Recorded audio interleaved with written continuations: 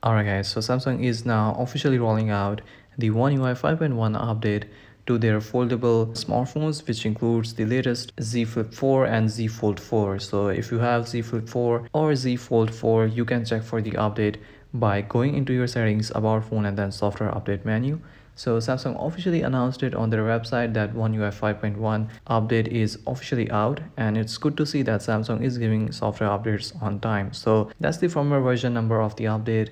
The size will be around 2 gigs and it will have February 2023 security patch. So One UI 5.1 is an updated version of One UI 5 and it brings some features of latest S23 series to older Galaxy smartphones that are currently running on One UI 5.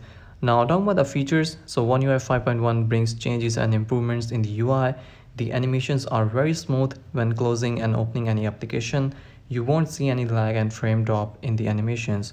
So One UI 5.1 comes with an enhanced photo remaster it's basically an AI tool built into the camera application. So when you are taking an expert raw shot, it will automatically enhance the quality of image by improving brightness, fine-tuning details, and making color corrections even in backlit scenes.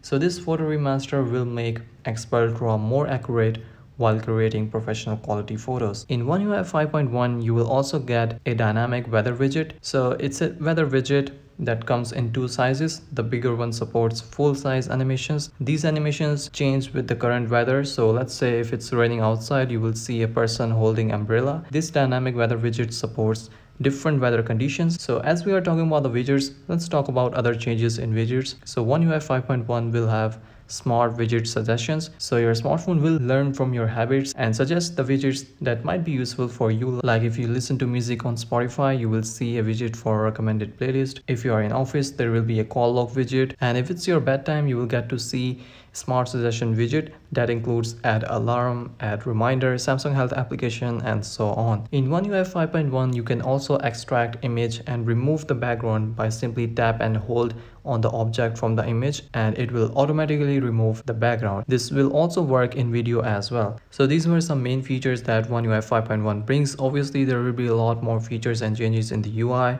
which I can't cover in this short update video. Now as for the rollout, so Samsung has released the One UI 5.1 update and it's currently rolling out in different countries around the globe. Keep in mind that the release date may vary depending upon the variant of your smartphone, the region in which you are currently living, and also the carrier that you are using. So if you haven't got the update, you don't need to worry because the update is now officially out by Samsung and by the first week of March, the update will become available in all countries on every single Z Flip 4 and Z Fold 4 smartphone. So yeah, that's pretty much it from my side. Give this video a thumbs up and I will see you all in the next one. Peace out.